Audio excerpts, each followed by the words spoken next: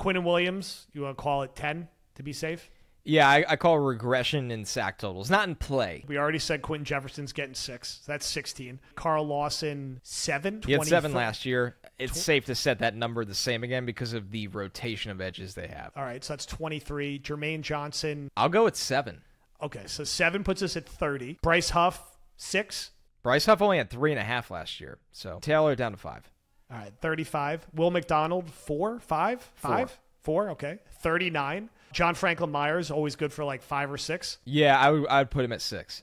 Okay, so that's 45 right there. Linebackers. You figure between like CJ Mosley, Quincy Williams, and JB Sherwood, you get like five between the three of them. So you're at 50. Defensive backs, maybe like two total. They didn't have any last year? No. So for the total you give let's do two.